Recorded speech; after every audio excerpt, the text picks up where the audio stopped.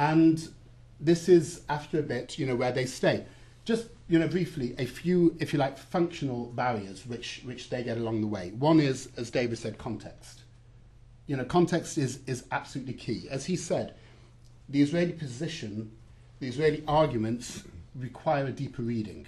Um, if a reporter stands in front of the fence, what they might call the wall, although it's, as we know, only 3% of the, the whole defensive fence, they are not giving the background. 220 Israelis killed in 2002 and the reason why it was built.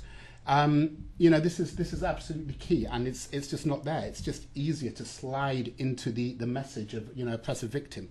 Choice of interviewee is another great example. We are approached by journalists all the time for sources.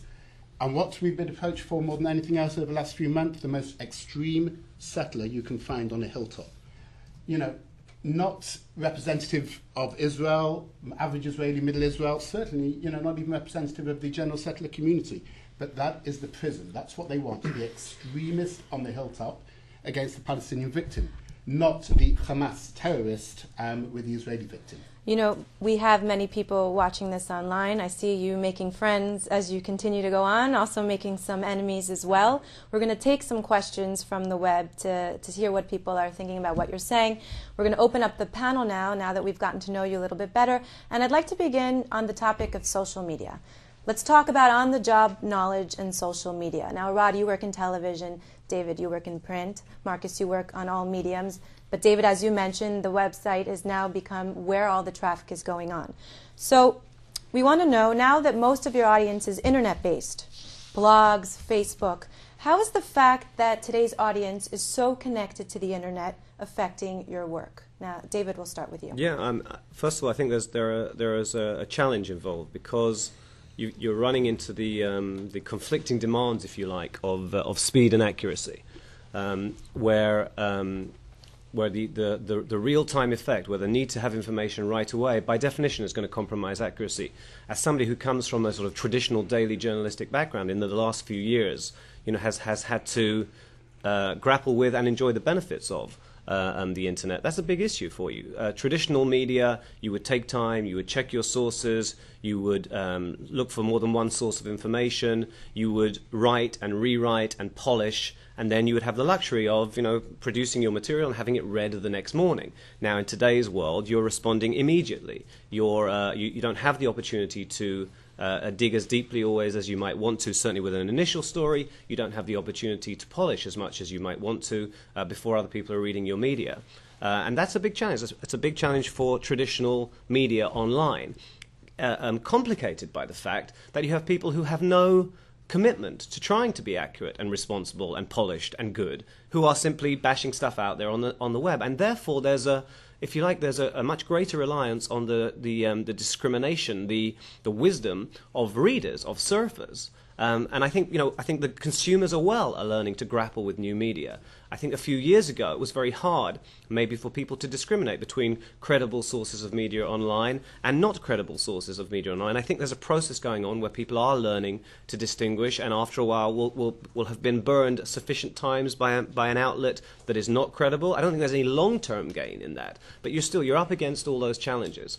And just coming, uh, uh, um, uh, adding a little bit to take to take us into the area where, where Marcus was talking about, which we haven't quite got to yet uh, you know, I'm, Marcus is kind of in in the in the gap between, if you like, independent media and the Israeli government, the official position. I mean, you, can, you might want to define it differently. From my point of view, working in the independent media, it is a constant source of, of horrific amazement to me how spectacularly inept official Israel is, both in terms of traditional media and emphatically in terms of new media. And, and the more you uh, uh, uh, investigate and look into social media, the more you recognize sort of the criminal failings of official Israel to understand the second battlefield at all, to understand what's going on in traditional and in new media. We're going to get to that second battlefield in, in just a little bit, but I'd like to know, Arad, do you find your viewers to be smarter today than they were ever? That they're much smarter now? I tend to give them credit uh, for that, uh, for, for being more informed. Uh, I, I, share uh, uh, uh, David's perception of the context. I don't know how much context they have. I'm trying to give them context in, in, in my slot on TV. Uh, but the, the fact, because I think that the facts are known to them through the internet, uh, be it uh, uh, uh, credible sources or not, and, and, and, I'm trying to put it all into, into context. This is why in my journalistic work, uh, the principle that I'm, I'm trying to, to follow is journalistic integrity. I'm, I'm, I'm trying to, to, to, to follow the, the, the old world's journalist work in the new media framework. And I think we give too much uh, uh, of an emphasis to this uh, new media uh, uh, impact on, on, on, on the audience because many people are working during the day. They don't have the luxury to sit here and talk about things we love and enjoy as, as, as, as, as we do, or as certain uh, percentage of the population uh, do. The cashier at the supermarket, the bus driver, the, the building builder, uh, uh, uh, the production worker, they all come home in the evening and they want to see the, the, the, the news wrapped properly in a way in, in a credible way that they can follow and this is what i am trying to give to them bearing in mind the flow of information that buzzes through the ear during the day Uh, you're talking about the common man, people, the working man. Many of us find ourselves on the internet all day long. I know I check my email probably 10 times a day. I'm sure all of you do as well. Uh, Marcus, how do all of these new forces affect your work with journalists? Because you're sort of on the other side, and David mentioned you're also on the governmental side. Tell me about how that affects your work. Well, I, would just actually like to, if you like, reinforce um, Arad's point. According to our research, 80% of um, people in America are still getting their information from the mainstream media. Um, now, that might be the Jerusalem Post on the net um, rather than the Jerusalem Post print copy, but they are relying on qualified, experienced journalists like, like these gentlemen here to get their information, not from a blogger and not from a, a friend or somebody else on the internet. So, so that's a key point. Nobody's going out of business in Yeah, uh, if I may aid, uh, Yeah. uh, add, uh, uh, add and aid, a small sentence here. We are using the internet as a platform for the principles we believe in. Sorry. And the second thing that I, that I would like to do is actually put my finger on another form of, if you like, new media, um, because it's new to us, and that is um, the emerging um, Pan-Arabic media. Um, this is a, a, a fascinating um, part of growth which we don't necessarily spend so much time on, but Al Jazeera, Al Hurra, Al Arabiya, you know, the three major ones, but, but LBC, so many other networks, pan-Arabic networks which are new, albeit state-owned, practically all uh, Saudi Arabia, except of course um, Al Jazeera, which is uh, Qatari, um, broadcasting all over the Arab world. Now, there is an enormous culture of hate in the Arab world. There are views, according to our research, of Israelis and Jews which would horrify everybody here and anybody who, who's following this on the internet.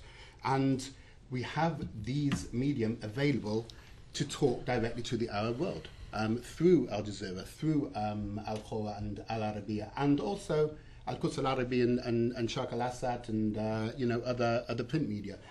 This is this is new. This is new media, and there are 350 million Arabs out there who we need to speak to. The, the Israel Project is doing that. Other organisations um, need to be thinking about that too, because it is um, an extremely important audience, an audience we can reach through new media, and an audience which we really have to shift minds on. You mentioned the pan Arabic networks. I'd like to know when you go out and cover a story, Arad, and you are uh, covering it from the local angle, what is your interaction like with the foreign journalists that are covering the same stories? Well, we are all friends. Really? yeah, yeah. Uh, I, I, I, was never uh, uh, uh, had a, a bad approach from a, fe- a, a, fellow uh, uh, journalist. I was ignored by some once they received these kind of information from their own governments.